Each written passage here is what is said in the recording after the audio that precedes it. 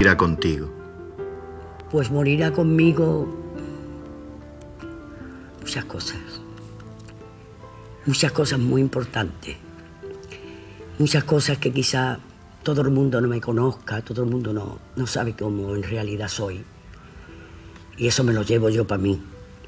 Mi, mis momentos de pensamientos buenos, de lo que haría, de la nobleza, de en el arte lo que pienso. Soy un ser fuerte, pero no creo que conmigo se termine. Sería una inmodestia muy grande. No, no, no, no. Sé que me llevo muchas cosas por delante y que creo que va a tardar en salir, ya no como artista, como artista todavía no ha salido ninguna. Yo soy la que peor canto, la que peor bailo, pero tengo una cosa especial que ninguna ha salido ni ninguna se parece a mí. Para mí es mucho más importante todavía que mi arte.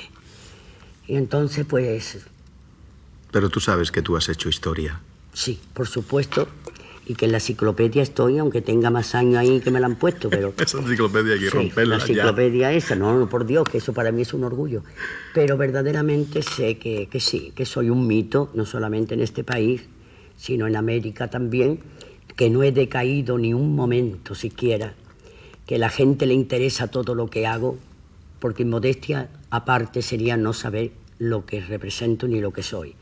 Pero no soy diva de andar por el mundo como una diva. Soy una mujer amiga de mis amigos, de mi familia, de mis hijos, de mi arte.